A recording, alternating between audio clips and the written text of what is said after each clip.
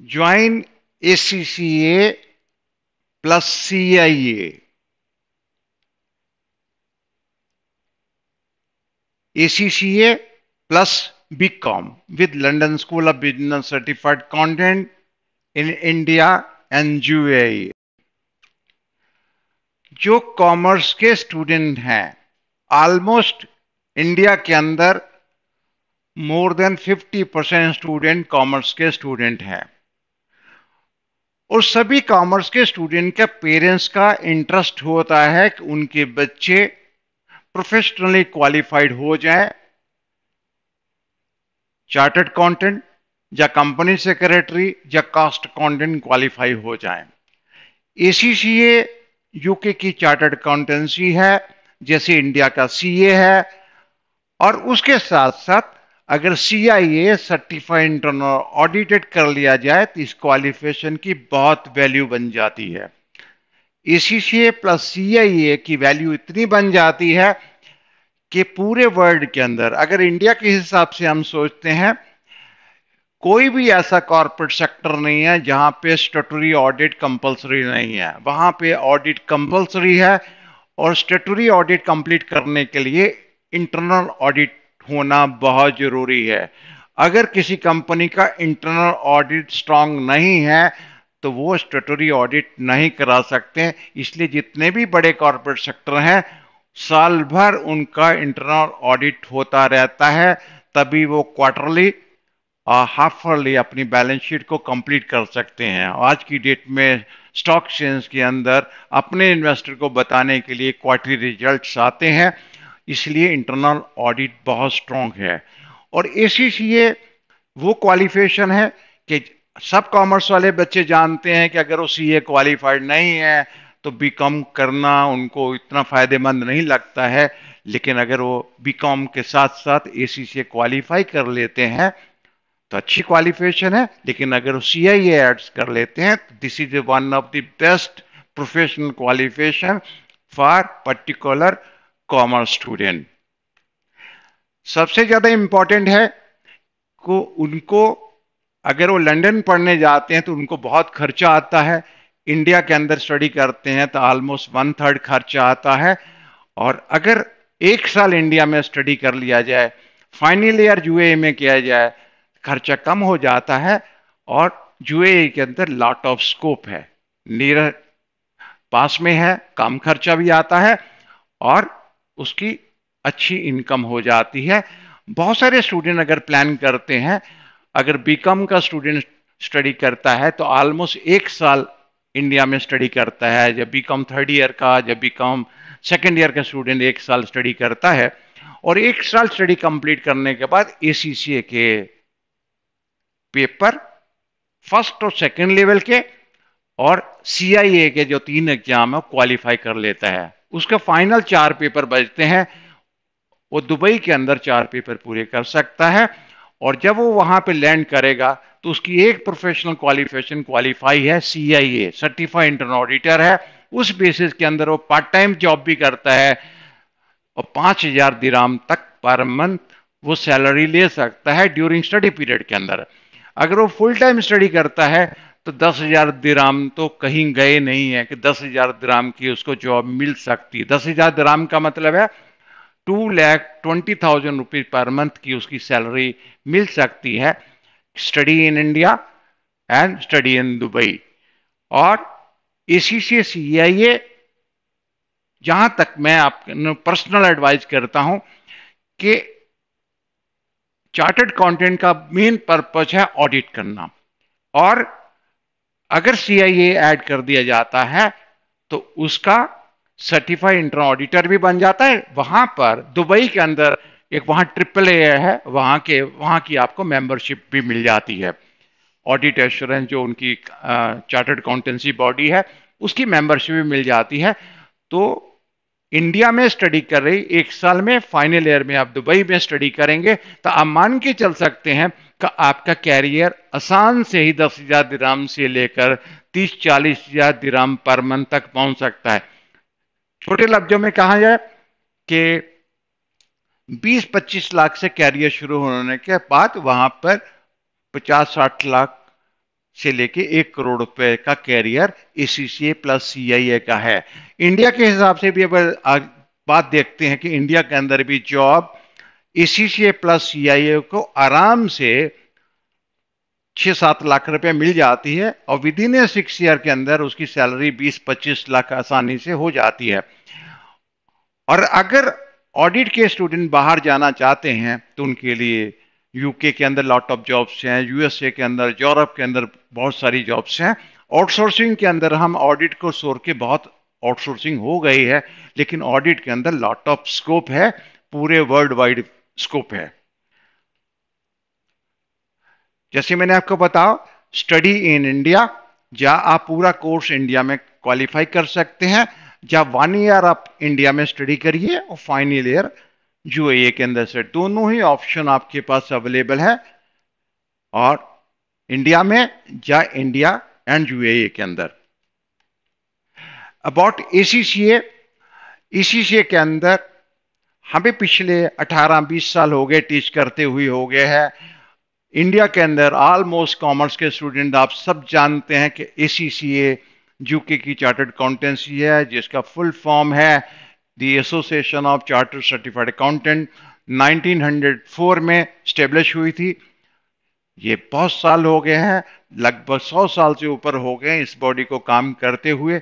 ये टेस्टेड है बॉडी है और जितने भी हमने 18-20 साल के अंदर स्टूडेंट के करीब मोर देन 600 स्टूडेंट क्वालिफाई हुए हैं, सभी को प्लेसमेंट हो गई है। बिग ऑडिटिंग फॉर्म में अर्नन जंग है केपीएमजी है डिलियोट है पीडब्ल्यूसी है ग्रंथ थॉर्टन है बीडीओ है। तो इसी is a very popular qualification among the commerce student and among the chartered accountant और cost accountant student जितने भी हैं या कंपनी सिक्योरिटी के स्टूडेंट हैं this time is very popular qualification in ACC और जो पेरेंट्स नहीं जानते हैं, वो मिल के समझ सकते हैं कि एसीसी कितनी उनके बच्चों के लिए अच्छी क्वालिफिकेशन है। About C I A certified internal auditor ये यूएसए की बॉडी है और इन्होंने अपने वर्ल्ड वाइड जो बॉडीज बनी है, जैसे इंडिया की एक बॉडी बनी इन इंडिया उसका उसी ढंग से ही चैप्टर्स हैं, जैसे इस सी के चैप्टर्स हैं, उसी तरह से सीआईए के चैप्टर्स हैं। इसके तीन पेपर होते हैं, जैसे एसीसी के तेरह पेपर होते हैं, इसमें तेरह और तीन सोलह पेपर होते हैं, और बीकॉम को कुछ पेपर की एग्जामेशन मिल जाती है। अगर देखा जाए तो ए C C C I A add करने के बाद एसीसी के अंदर ऑडिट के दो पेपर होते हैं, तेरह में से और तीन पेपर ऑडिट के डालने के बाद एक ऑडिट का स्पेशलाइजेशन हो जाता है। तो उसको इंडिया की बॉडी का मेंबरशिप मिलती है सीआईए के अंदर और क्वालिफिकेशन उसकी अमेरिका की कंप्लीट हो जाती है। और आप देखते हैं कि बहुत लोग कहते हैं कि एसीसीए के अंदर जॉब सिर्फ़ बिग ऑडिटिंग फॉर्म में अवेलेबल है। इंडियन सेक्टर के अंदर अवेलेबल नहीं है। लेकिन सीआईए ऐड करने के बाद कोई ऐसा कॉरपोरेट सेक्टर नहीं है जहाँ पे जॉब अवेलेबल नहीं है। अब देखेंगे नेशनलाइज बैंक में जाएँगे प्राइवेट सेक्टर के बैंक के अंदर जाए या दूसरे कॉरपोरेट सेक्टर के अंदर जाएँगे तो इंटरनल ऑडिट की लॉट ऑफ़ जॉब्स है। इसी से प्लस सी आई एड करने के बाद दो ड्यूल प्रोफेशनल क्वालिफिकेशन होने के बाद लॉट ऑफ़ स्कोप है। और लोग कहेंगे खाली सी के तीन पेपर कर लीजिए। मैं जो कहता हूँ, उसका ज़्यादा स्कोप नहीं है। बीकॉम के बाद सीआईए कर लेंगे, तीन पेपर है तो वो एक चार्टर्ड अकाउंटेंट के साथ एक असिस्टेंट की तरह काम करना पड़ेगा। लेकिन एसीसीए प्लस सी ऐड करने के बाद this is a really wonderful qualification entry level twelfth के स्टूडेंट जिन्होंने ट्वेल्थ के एग्ज़ाम्स अभी देने हैं। तो वो जैसे एग्ज़ाम देते हैं, मार्च के बाद अप्रैल से स्टार्ट कर सकते हैं। सेवंथ फ़र्स्ट मंडे जो होगा अप्रैल से, तब उनकी क्लासेस शुरू हो जाएँगी। जो बीकॉम का फ़र्स्ट सेमेस्टर का एग्ज़ाम दे चुके हैं। अभी सेकंड सेमेस्टर का एग्ज़ाम इन्होंने दिसंबर में दिया है। तो इसका मतलब है बीकॉम सेकेंड सेमेस्टर के बच्चे, जब बीकॉम फ़र्स्ट सेमेस्टर के बच्चे भी ज्वाइन कर सकते हैं इस प्रोग्राम के अंदर। जिन्होंने बीकॉम फ़र्स्ट ईयर कर चुके हैं, या बीकॉम सेकेंड ईयर कर चुके हैं, और जो बीकॉम क्वालिफाइड हैं, या M Com first year second year कर रहे हैं सीए के स्टूडेंट हैं सीए फाउंडेशन के स्टूडेंट हैं, जो आईपीसी कर रहे हैं, या सीए फाइनल कर चुके हैं even then CA qualified company secretary जा कास्ट अकाउंटेंट के स्टूडेंट भी ज्वाइन कर सकते हैं इस प्रोग्राम के लिए उनके लिए भी one of the best program है placement assistant we provide full placement assistant for getting job in big auditing form in other MNCs India and abroad like EY, KPMG, Deloitte, PwC, Grant Thornton, Berkeley, Mazar, JP Morgan, BDO. So we support all our students for the best placement in India and abroad. Lot of uh, ACCA approved employer available, more than 8,500 employer available or for providing jobs to ACCA and CIA qualified. How to study? This is is a very important सबसे ज़्यादा है कि किस तरह से qualify किया जाए। लोग कहते हैं ज्वाइन किया जाए क्वालिफाई हो जाएगा। सैटरडे संडे ज्वाइन करेंगे। पेन ड्राइव की क्लासेज होंगी। नहीं। इस this is not a scientific way for the study of professional courses आपको सीरियसली स्टडी करना है। जैसे ट्वेल्थ में आप बहुत सीरियसली स्टडी करते थे। लेकिन बीकॉम के बाद आप इतने अच्छे स्टूडेंट नहीं रहे। क्योंकि सिस्टम ऐसा हुआ गया कि आपको उतनी मेहनत नहीं करनी पड़ती जितनी ट्वेल्थ लेवल में स्टडी करनी पड़ती है। सीरियसली स्टडी करनी पड़ेगी जैसे हायर सेकेंडरी में आप स्टडी करते थे। मंडे टू फ्राइडे क्लासेज होंगी, सैटरडे को मॉक टेस्ट होंगे और क्लासेज होंगी face to face at L S B C campus और online live interactive classes from your home. चाहे आप अपने घर से ऑनलाइन लाइव इंटरेक्टिव क्लास से लें, लेकिन सबसे बेटर है face to face classes L S B C campus के अंदर क्लासेस लें। यही स्टडी करने का बेस्ट वे है। दूसरा वे जो क्लासेस का है, वो टाइम से पास नहीं होंगे। अगर आप दो साल के अंदर क्वालिफाई नहीं होते हैं, अगर पाँच साल के अंदर क्वालिफाई होते हैं तो तीन साल की तनख्वाह खराब होती है। एक साल भी लेट होते हैं तो वो तो टाइम से क्वालिफाई होने से आपको बेटर है, अच्छी जॉब आसानी से जल्दी मिल जाएगी।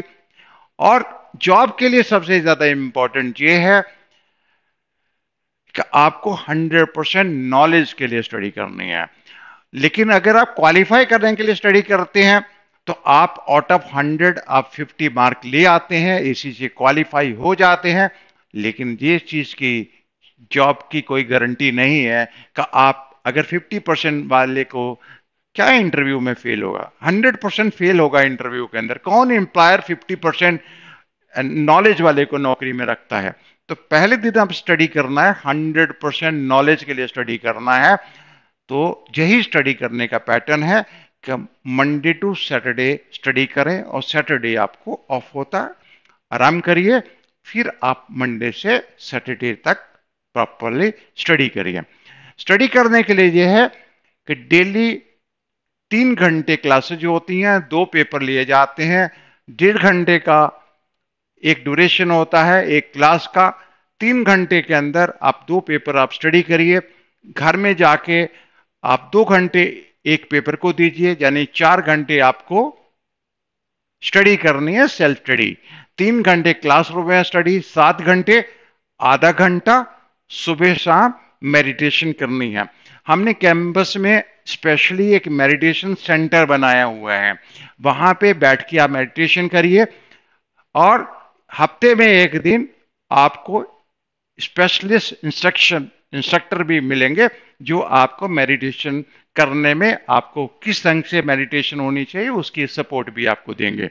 तो आठ घंटे आप कंटिन्यू अगर इसको ए को देते हैं हंड्रेड परसेंट आप क्वालिफाई भी हो जाते हैं और अच्छी जॉब भी मिल जाती है। एडमिशन सेशन है मार्च, जून, सितंबर और दिसंबर।